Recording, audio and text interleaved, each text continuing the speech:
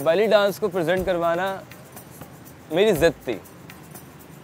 क्योंकि मेरे माइंड में था, यार, अगर कोई लड़की बैली डांस कर सकती तो लड़का क्यों नहीं कर सकता?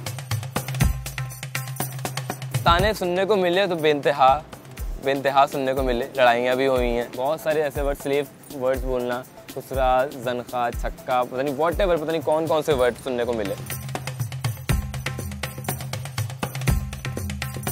मैं ड्यूरिंग परफॉर्मेंस ये सब चीज़ें करता हूँ कैजुअल लाइफ में किसी को ये सब चीज़ें नहीं पसंद आती हैं। ऑनेस्टली बताऊँ तो मेरा भाई अभी तक मुझसे बात नहीं करता। जहाँ तक बात है कथक की और बहुत सारे कंटेम्प्रेरी हो गया हिप हॉप हो गया क्लास यानी बहुत सारे ऐसे फॉर्म्स वगैरह हैं। भाई उसमें एक्सेप्ट कर लेगा। लेकिन बैली डांस में भाई मेरी शक्ल दिखता है कि यार ये क्यों? बैली डांस ऐसी ऐसी चीज़ है, आपको थोड़ा सा बॉडी शो करनी पड़ती है उसके अंदर। तो मैं बहुत सी जगह परफॉर्मेंस वगैरह कर मैं मैंने शर्टलेस भी परफॉर्मेंस करा है। तो भाई ने बोला कि नहीं, ये चीज़ गलत है। पब्लिक में तुम शर्टलेस खड़े हो रहे हो या फ्रॉक पहन रहे हो, अपने आप को तुम क्या प्रेजेंट करवाना चाह रहे हो? हम हर चीज़ में डांस कर रहे होते हैं आजकल। नॉर्मली आप चल रहे हो, आपका एक चलना भी एक डांस है। आपका एक पानी पीने का भी अंदाज एक, एक डांस है। आप उठाते हो मूवमेंट कर रहे हो लेके आ रहे हो फेस के पास तो ये डांस है। क्योंकि अब आपकी पूरी एक मूवमेंट बनती हुई आ रही है। जैसे हम कथक में अपना पूरा हाथ लेते हुए आते हैं तो ये पानी का एक, इशारा ग्लास के लिए। फैमिली बैकग्राउंड तो थोड़ा सा लो है। सो यानी मेरे डैड यानी शू मेकर हैं। अब आओ दाद जो थे तो सारे जौहरी थे।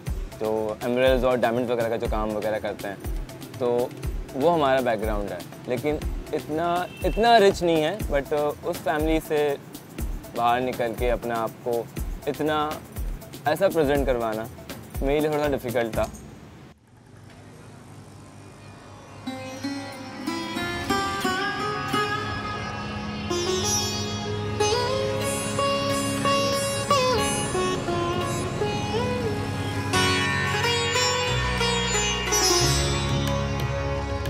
एक साल तक कम से कम बात नहीं की डैड ने मेरे। यानी सपोर्ट बिल्कुल भी नहीं करा।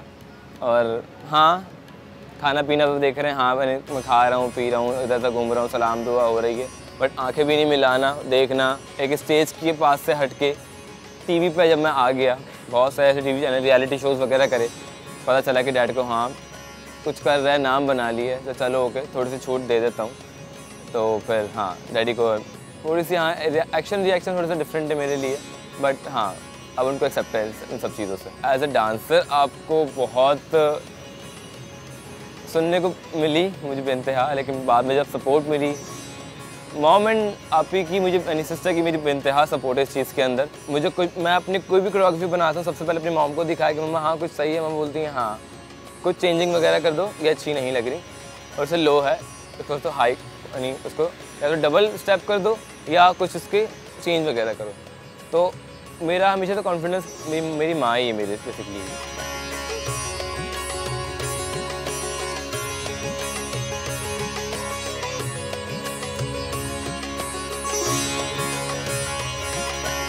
आशा के दौर में यार किसी भी चीज़ का जेंडर नहीं है। डांस का कोई जेंडर नहीं है। तो डांस में सब चीज़ें क्यों बोली जाती है कि यार ये लड़के लड़के का डांस है तो लड़का ही कर सकता है।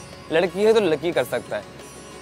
ये हमारी है ना, यानी हमारे, यानी माशरे में बड़ा अजीब सीन है कि एक लड़का, लड़कियों वाला डांस उसको बोल के उसको लो कर देता है।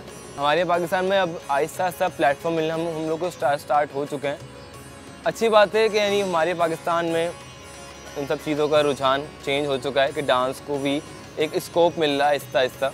एक डांसर्स को देखा जा रहा है कि हाँ as a choreographer as a instructor as a dancer promote करा जा रहा है। अच्छी बात है। एक ऐसे शख्स ने मुझे एक, एक ऐसी अच्छी बात बोली। तो आई वॉज़ लाइक कि हाँ कुछ हासिल करा। उन्होंने भी एक, एक छोटी सी लाइन बोली मुझे कि यूशा तुम छोटे तालाब की मछली नहीं हो तुम बड़े समंदर की बस मछली हो। ऐसे ये बोलूँगा कि यार do whatever you want अगर आपका बच्चा जो चाहता है, अगर आपको उसको बस समझो कि वो चाहता क्या है उससे पूछ लो। मना ना करो। रिस्ट्रिक्शंस करो ऑब्वियसली वो आपका बच्चा है बट पाबंदियाँ ना लगाओ उसके ऊपर इतनी। उसका भी जीने का हक है